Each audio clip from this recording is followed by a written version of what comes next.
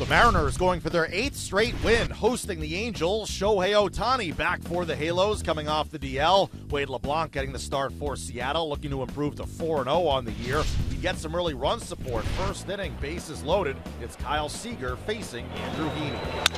And it's to right field. That's going to get down. Bishop got to play on high. He falls down. He might have hurt himself. One run scores, two run scores. Seager to second with a two-run double. It's with a couple of RBIs, now 51 RBIs on the season. He's in good shape. He's in good shape. Plant. Oh, yeah, right there. The right foot just gave out. Yeah. Oh, boy. That's not good. One out, runners at the corners. Swing and a miss.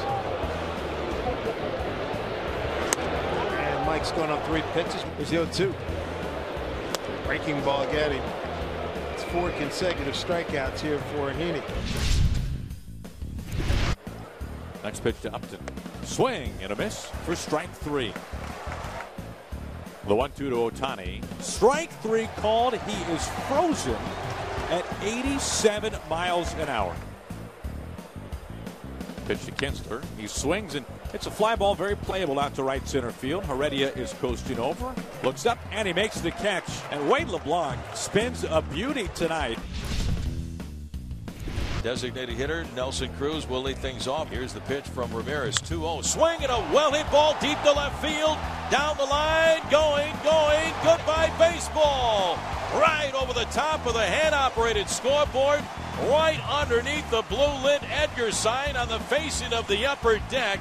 Nelson Cruz. A leadoff home run here in the bottom of the eighth inning, his 22nd home run of the year. That ball got out of here in a hurry, a Cruz missile to left field. Diaz looks in the sign again from Zunino, and here we go.